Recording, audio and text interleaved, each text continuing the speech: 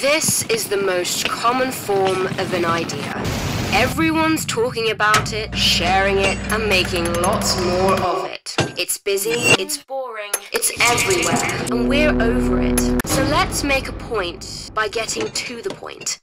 Let's get the gas, light the spark, muster the rage, and burn through all the blah until there's only